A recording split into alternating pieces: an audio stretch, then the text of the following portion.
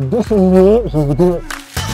cette vidéo, je vais vous dévoiler ce que vous ne voyez jamais quand vous allez vous baigner à la plage, l'incroyable dispositif qui permet de préserver la qualité de l'eau de mer. Et ouais, ça coule pas de source. Je sais pas si vous savez, mais chaque année en France, plus de 20% des plages voient la qualité de leur eau dégradée. Pourtant, bah, on continue d'aller se baigner tranquillement. Mais alors, comment c'est possible? Et ben justement, je suis venu ici à Boulogne-sur-Mer pour mener ma petite enquête, essayer de comprendre ce qui se passe réellement entre les égouts de nos villes et nos serviettes de plage. Les chiffres sont édifiants. Chaque Français produit en moyenne 150 litres d'eau usée par jour. Et toute cette eau, où est-ce qu'elle va? Bah, dans les rivières, puis dans la mer. Et sans traitement, les plages sont tout simplement impraticables. Mais moi, ce qui me fascine le plus, c'est ce paradoxe.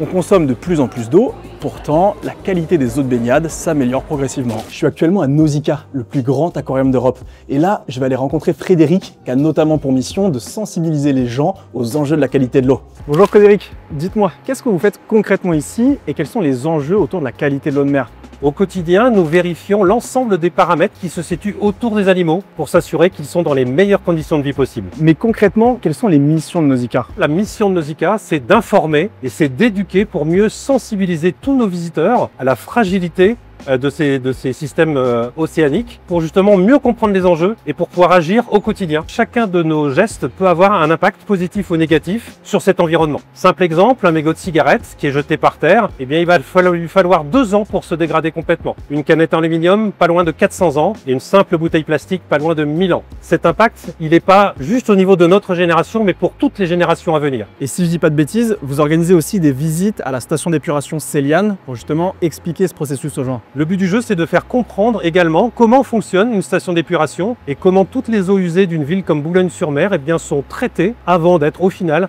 rejetées dans la mer. Bon, je viens de partir de Nausicaa pour venir à cette fameuse station d'épuration, Céliane, et je vais aller poser quelques petites questions à Michael. Alors, Michael, expliquez-moi concrètement qu'est-ce que vous faites ici Cette station d'épuration, c'est comme le foie de la ville. Elle filtre l'ensemble des impuretés, des eaux brutes, des eaux usées, avant qu'elles ne rejoignent euh, la mer. On traite par an 10 millions de mètres cubes d'eau, soit l'équivalent de 4000 piscines olympiques. Et comment vous vous assurez que le traitement est efficace? Chaque jour, notre délégataire, Veolia, possède un laboratoire intégré et il procède à des dizaines d'analyses pour vérifier la conformité des eaux avant de les rejeter dans la rivière qui est juste derrière nous, qui s'appelle la Liane. Ce qui est remarquable, c'est que le travail qu'on fait ici est complètement invisible. Lorsque vous vous baignez, vous ne vous rendez pas compte de l'ensemble des polluants qu'on a stoppés avant qu'ils arrivent à la mer. Finalement, c'est un peu comme les racines d'un arbre, elles sont complètement invisibles, mais sans elles, rien ne pousse. Donc la prochaine fois que vous vous baignerez dans la mer, rappelez-vous que des milliers de personnes travaillent dans l'ombre pour simplement que vous puissiez profiter de l'eau sans y penser. Et même si là, avec cette température, j'avoue que j'ai pas trop envie d'aller me baigner, je sais que je peux le faire en toute sécurité. Et d'ailleurs, en période estivale, dès 4 heures du matin, des agents viennent faire des prélèvements d'eau pour s'assurer de sa qualité. Pas de drapeau violet, pas de pollution. Si cette plongée dans les coulisses du traitement de l'eau vous a plu, abonnez-vous à la chaîne Verso pour découvrir avec moi d'autres systèmes invisibles qui rendent notre quotidien possible. Allez, à bientôt sur Verso. Thank you.